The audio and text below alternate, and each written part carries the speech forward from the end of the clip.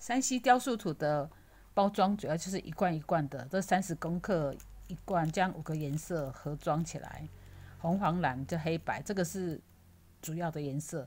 然后副色呢，就是这一些也是常用的颜色，你也可以自己调出来。可是你调的话，有时候没有办法这么漂亮的色彩，直接的色彩比较漂亮。那你如果说补充包的话，我们是大部分就是六十克的包装啦。那你也可以买一个补充包，像白色的、黄色的，经常都需要补充。那你如果调色参考呢，你也可以看我们这个这两本书里面都有一些调色的那个怎样调出来啊？这两本书里面都有调调色的方法。山西雕塑土最它是水性的，最重要就是要保湿。保湿，那你用完以后，这个塑胶袋都要包好，然后包就就是要锁紧。如果你可以滴一些水进去的话，哦，滴一些水进去的话，再再锁紧，这样可以保湿的那个可以使用的年限就比较长，一年两年都没有问题。那你如果没有锁紧，没有包好，一个礼拜一个月可能就干掉了。所以我们做的时候就是经常就是要一点点的水。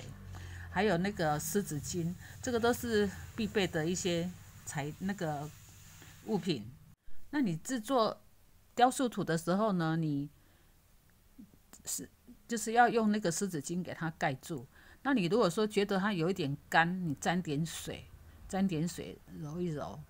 可是如果说寒流来的时候，那就没办法了。寒流来的时候，人也都不想动了啊。寒流来的时候，就是休息的时候，没有办法做。那你这样子薄薄的，哦，啊，再沾一些水，比较好，比较好捏，然后你就直接给它粘住就可以了，它压住就就就粘住了。好，那你可以用你的厚纸板设计出你要的形状以后，再给它弄一层土包起来，这个作品就变得很坚固。你看这个都是后面就是一一张厚纸而已。那这个面具就可以戴很久，你拉拉扯扯不会坏的。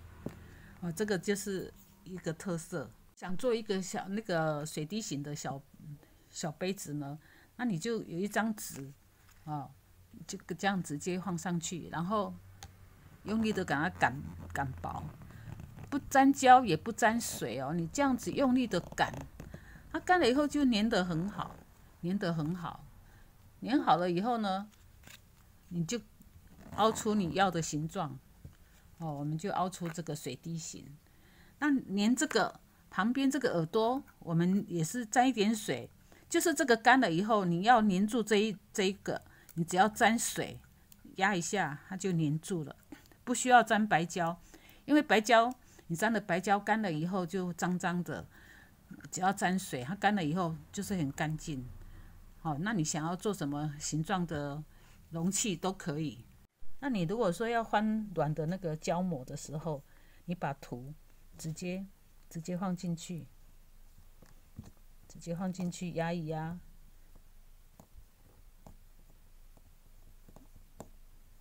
那你要修饰旁边的。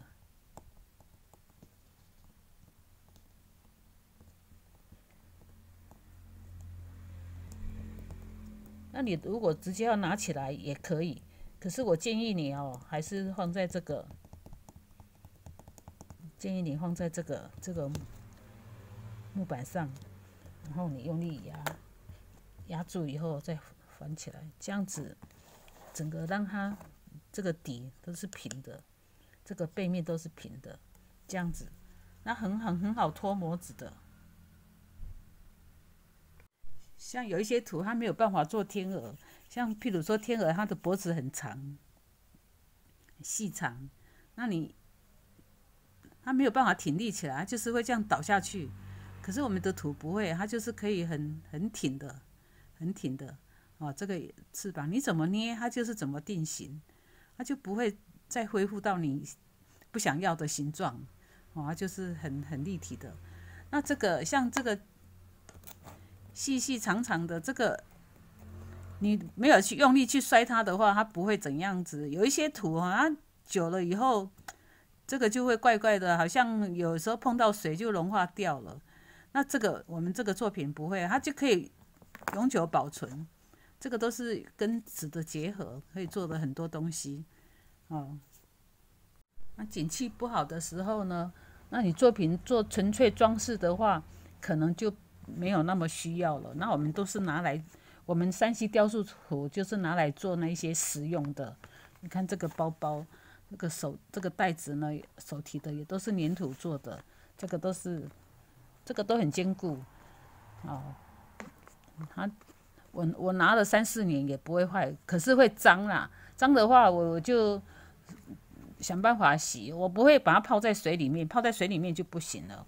那你要泡的话，一两分钟、两三分钟可以，你久泡的话就不行。那这手机袋，你看都是很实用的啊。那你想想看，这个这个听它的声音就知道它是很坚固的，就可以你可以用水洗呀。那我们的图呢，可以擀得很薄。譬如说，你要做这个女生的裙子，这个都是薄薄的，衣服都薄薄的。那你不需要抹什么油啊？你如果抹那些什么，那个像树脂图，你抹了一些什么什么婴儿油啊，那那你抹抹太多的话，你可以就是可以擀薄，可是等你擦颜色的时候，像这个要擦颜色的时候，你就知道了，那没有办法擦颜色啊。你可以擀得很薄。可以擀得很薄，擀得很薄以后，你拿起来很轻易的就可以拿起来。呃，如果是超轻土的话，那你根本拿不起来呀。啊，这个我们做康乃馨就是这样子薄薄的，这样子都可以很轻易的拿起来，还是就是一块完整的一块。